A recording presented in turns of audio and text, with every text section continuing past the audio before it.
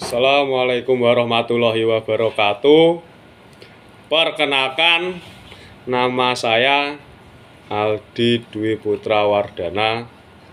Saya dari kelas BKI 5B dengan nomor induk mahasiswa 126 30 620 24 9. Adapun alamat rumah saya yaitu berada di Desa Bendosari, Kecamatan Ngantru, Kabupaten Tulungagung. Melalui video ini saya akan menceritakan pribadi saya di dalam sebuah memimpin organisasi maupun perusahaan yang telah saya ikuti. Jika saya di dalam organisasi maupun perusahaan, saya diberi amanah untuk menjadi pemimpin ataupun ketua dari perusahaan maupun organisasi yang saya ikuti. Kontribusi saya di dalam organisasi maupun perusahaan, saya akan memberikan yang terbaik terhadap organisasi maupun perusahaan yang telah saya ikuti.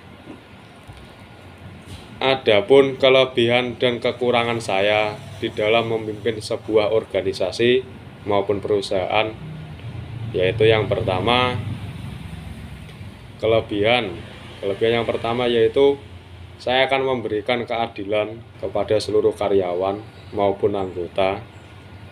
Jika ada salah satu karyawan maupun anggota saya terlibat masalah saya berani bertanggung jawab terhadap anggota maupun karyawan saya.